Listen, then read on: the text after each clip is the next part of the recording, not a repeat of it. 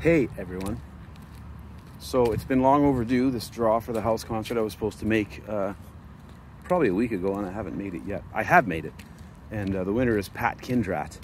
Um, Pat's a good friend of ours uh, from CFCR Radio and uh, just a generally nice fellow, him and his wife Corey.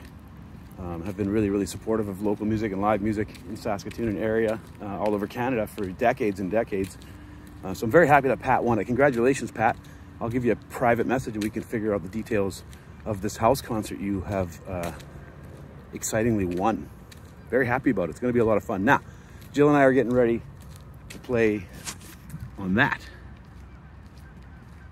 That's the Prairie Lily, and we're doing a nice little uh, private function uh, tonight. So we're looking forward to sailing around the beautiful Saskatchewan River and seeing some nice sights and just having a great evening here in Saskatoon. Tomorrow we're off to the Jasper Folk Festival with the Ray Elliott Band.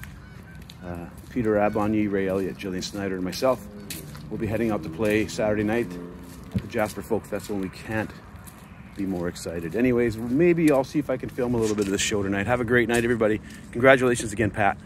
Uh, can't wait to get the details sorted out with you. Um, all aboard here, everyone, all aboard. Jilly.